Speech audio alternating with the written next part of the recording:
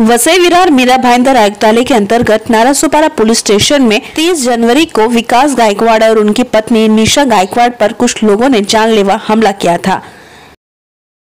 क्या नाम है आपका? मेरा नाम विकास गायकवाड़। क्या हुआ था आपके साथ? मेरे साथ मैं सर तीस तारीख को दोपहर में खाना खा के बाहर निकला था। मैं फनपिस्टा गया। उधर से मैं घर पे आ रहा था। तो लगभग कुछ तीन साढ़े तीन बजे मैं थर्ड रोड की तरफ़ से आ रहा था। तो मेरे को ना उधर पे लड़के लोग ने रुकाया। रुका के मेरे को साइड में किया उसने किसी को तो फ़ोन किया वो लोग उधर से आए। वो तीन चार जन ने मेरे को सीधा चाकू से मारना चालू कर दिया। तो ये विवाद क्या था? विवाद सब पहले वाला कुछ मेरे दोस्त का झगड़ा था। उन लोग का कुछ झगड़ा हुआ था तो वहाँ पे उस टाइम पे मैं भी था उसके साथ। तो उन लोग की वजह से झगड़ा पहले हुआ था। तो ये पुलिस बता रही है कि आपसी रंजिश है वो सच है क्या?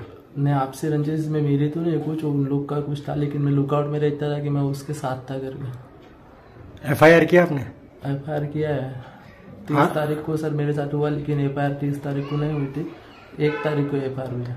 तो ये आपकी वाइफ पे भी हमला किया था? मेरे वाइफ पे भी हमला किया चाकू मारा मेरे वाइफ के हाथ पे भी। तो अभी तक आरोपी पकड़ेगा नहीं पकड़ेगा सर आरोपी नहीं पकड़ेगा अभी तक। तो आप मीडिया के माध्यम से पुलिस कमिश्नर मधुकर पांडे को क्या संदेश देना चाहते हैं? देखिए सर मैं तो इतना बोलना चाहता हूँ कि मेरी बीवी मेरी बहन है अभी। कोई भी घर से बाहर नहीं निकल रहा। सबके दिल में ना खौफ बैठ चुका है कोई घर से बाहर ही निकल रहा है। मेरी मम्मी भी डर डर के बाहर निकलती है। अभी इन लोग को जल्द से जल्द पकड़ ले, ये मैं निवेदन कर रहा हूँ, बस। नालासोपारा पुलिस स्टेशन के वरिष्ठ पुलिस निरीक्षक विलास सुपे के मार्गदर्शन पर पीएसआई सलीम शेख ने मामले की जाँच करते हुए दो आरोपियों को गिरफ़्तार कर लिया है। वसई विराट से गौरव राजपुरोहित की एक रिपोर्ट। को नाला सुपारा पुलिस थाने में ती, एक तीन सौ छब्बीस का गुना दाखिल हुआ था। बाद में डॉक्टर का सर्टिफिकेट आने के बाद और उस मरीज़ की हालत देखने के बाद मरीज़ का स्टेटमेंट लेने के बाद उसमें तीन सौ सात कलम का बढ़ाया गया। उसके अंदर जो आरोपी थे तीन वो गुना दाखिल होने से कल तक फरार थे।